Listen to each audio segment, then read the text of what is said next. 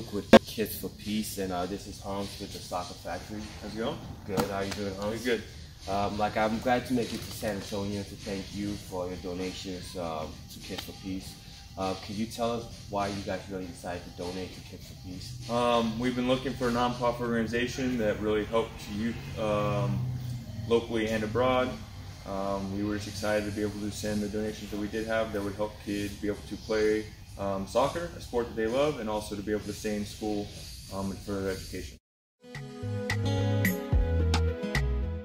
So these donations are not only going to like change one kid's life, they're going to change a, a whole organization.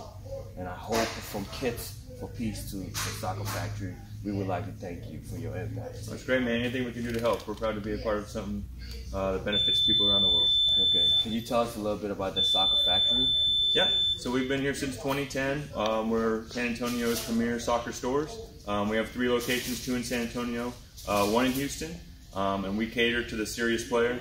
Um, you need cleats, jerseys, gloves, anything to um, excel your game. We have it here. Um, we also do custom orders for clubs, for teams, for schools. So we handle all the needs for any sport and any, any school. Okay, so like whether you're like a club in Kansas or a club in Colorado, you guys can uh, help. We can take care of you. You can call them and beat their competition. Absolutely. Okay, awesome. Uh, thank you, Farouk with Kits for Peace. Hans. Hans from Soccer Factory. All right.